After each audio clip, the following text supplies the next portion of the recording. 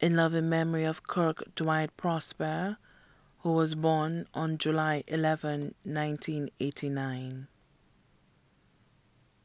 This year you would have been the big 3 0, 30.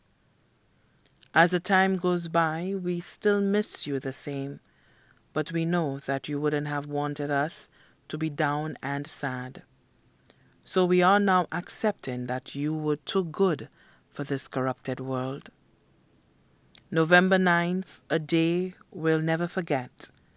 We lost a great friend, which could never be replaced. We will never forget you and the times we shared. You are resting, you have served your purpose on this earth. We continue to use your words of wisdom each and every day. As you celebrate above with the angels, we will continue to celebrate you down here We'll get your favorite red wine and Ciroc, maybe, and laugh about the good times you shared with us all. Keep watching over us as we hustle to achieve.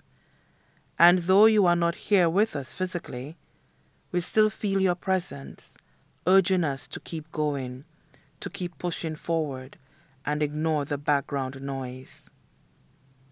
So, as you spend another birthday up in heaven, we say, Happy birthday to you. Sky's the limit.